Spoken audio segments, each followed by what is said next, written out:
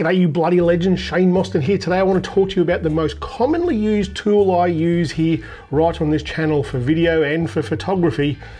Well, I'm going to have to turn some of this off to show you what it is.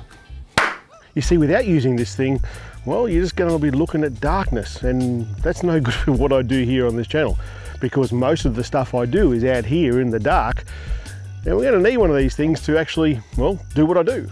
You're probably wondering what it is, and it's the most commonly used thing that I use here on this channel. It's a tool that I use for video right now. It's also a tool that I use for a lot of the photos that I take with the Milky Way, with the stars in the night sky and things like that.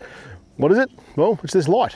Let's not just turn this into a look at another RGB light review. Let's say at least five ways to use this in five minutes. We'll see if we can do it. There's moths getting around now. So I'll put five minutes on the clock and we'll get going. Actually, you guys are probably wondering what is he actually showing us here? It's actually a small LED panel. It's uh, from Pixel. It's called the Liber, L-I-B-E-R. It's got 66 LEDs, got some ultra cool ones, some warmer ones, and of course the RGB light so you can do all sorts of cool effective lighting like what I've got going on in the vehicle there behind me. So uh, it's about 66 bucks. I'll link it down in the description there. And it is, it is the most versatile sort of lights that I use here on this channel. So I guess I've talked long enough and my time's ticking down, so we better get cracking. First thing I'm going to do is some astrophotography and I'm going to light paint the subject. This is the actual light here. It's got a silicon case on it here and for what we're doing here, pretty much everything that we're doing here at nighttime, I'm going to use this silicon case because it's basically a diffuser for the light, so it's not quite as harsh. It just pops off just like that, and there's the uh, well, there's the torch right there. One of the things I really like about this, and if you've watched any of my videos before, you know that light painting, the variable light, you need to be able to change the power of that light. And this thing does it in increments up to 100%, and it does it really, really well. It's nice and smooth in that transition. But what I really like about this is that you can control it via Bluetooth. So I don't need to go trompling off to whatever it is that I'm trying to light paint. I can just connect my phone to this and adjust the power, adjust the color, adjust everything from my phone way over where I'm taking the photo from. Very bloody cool. So I've got that in the car now, so what I'm going to do is light the car from the inside, the interior light, and I'm also going to use a second torch to light the exterior of the vehicle while we're taking the same photo. And for this photo here, I reckon we'll use the iPhone for this. I'll just change the uh, colors of this here. I can, uh, this is the white balance. I can increase that or decrease it, I can go across here on the app to the RGB and I can change the color of that light. There's a really orange, we can change it to red, change it to red, purpley color, blue. I think blue or teal sort of color like that right there is not too bad for what we're doing here. And because we're trying to capture the stars, I'm going to decrease the intensity of that light significantly because it's a long exposure photo and this is going to turn out pretty bloody well. So I've got that light inside the car now. I've got the camera set up here. We're going to use night mode. It has to be on a tripod. You're going to get 30 seconds if it's on a tripod. I've got my phone holder here, holding the phone on the tripod. It's going to touch out there onto the stars. The light on the car is still going on. As this photo is being taken, I'm going to rush around and light the car with my second Liber. I ended up changing the color of the second one that I was using because blue and blue it just was way too blue. So I changed it to a warmer color and this is the result. Looks pretty bloody good. You can see the tail of the galactic core coming up there behind it. This torch, incrementally, Bluetooth controlled, really good for this sort of photo. What can we do next? Let's go have a look. Actually, you know what would be good? The same sort of photo, we'll get rid of the car out of the photo and we'll do some light painting patterns with the torch. So for this one, I'm actually going to take the diffuser off of this, this uh, light, mainly because I'm not using the light to light a subject. The light is the subject. We're going to make patterns with this light, uh, with the Milky Way behind it. Hopefully it works. I haven't tried this before. You're seeing it with me right now. Uh, it's because it's got different scene modes as well, you know, the ambulance and fire engine and police and fireworks and all that sort of business. It does all that, but it also has a fast RGB on it. And if I turn that on, you can see, you might be able to see, I've turned it right down so you can see the individual LEDs because I'm hoping that will come as a bit of a pattern, but you might be able to see it right now. It's changing colors as we're doing this right now. So if I take a 30 second photo with the Milky Way, I can move this around in front of the camera uh, and hopefully we get something, well, better than bad. Gonna do these sorts of things, just wave it around a little bit, come close to the camera when I'm finished, just like that, and we'll see what we get. Well, that kind of worked. I need to go from one side of the camera, go out and come back around, I think, because we've got just one side of it. The potential is there. Let's try it again. I'm gonna start from this side, come around, just gonna do big circles like this. It might work, it might not. The pattern may not work, but the concept will. You'll see what I'm talking about in about 15 seconds.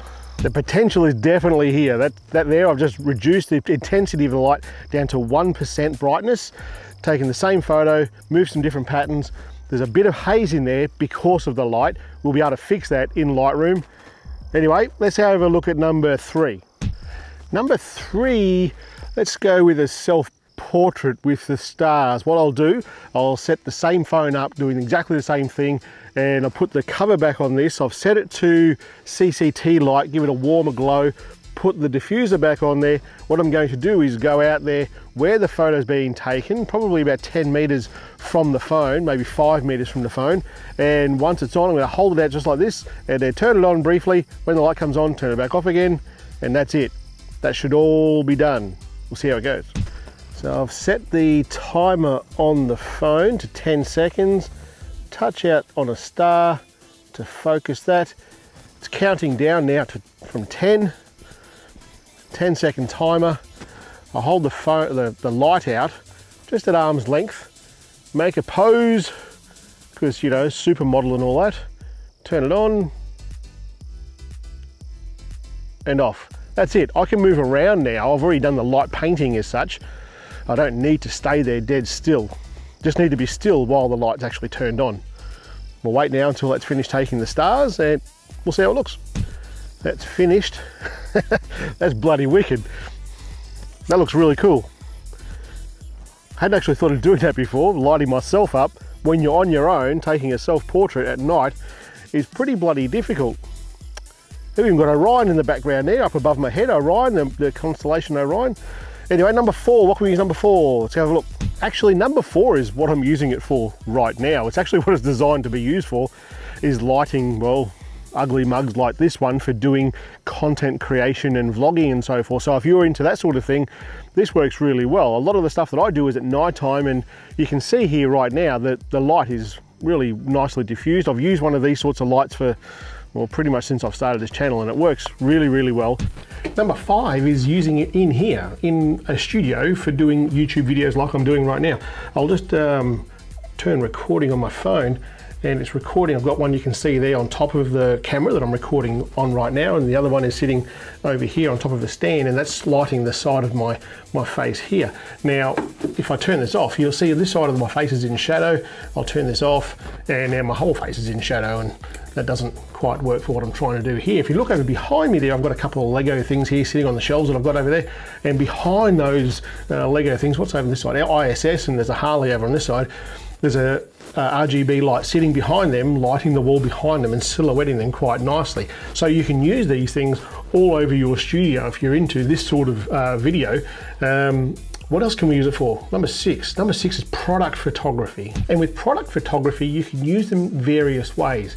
We'll take a couple of photos here. One, you can use them to replicate corporate colors, for example. So in the back here, I've got a pink uh, bar light, LED bar light, and a blue green LED bar light. And if I had corporate colors, I could change those to suit what my colors are. So you might have a product and we'll look at this one here, for example.